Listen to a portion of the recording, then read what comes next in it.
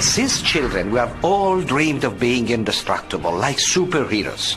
Like Colossus, who could change his body into steel, or the Thing with his rocky skin, falling and slamming into things without hurting ourselves.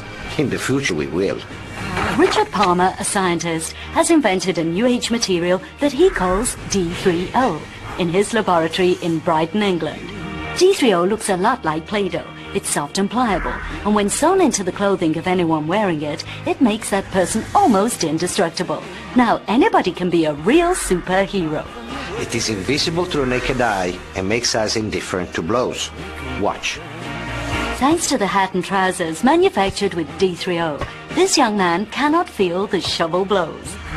The energy created by the blow received changes the molecular bonding of the D3O. Before the blow, it was flexible, but then it changes into a solid protective shield. The molecular change occurs in a hundredth of a second and only lasts the length of the impact.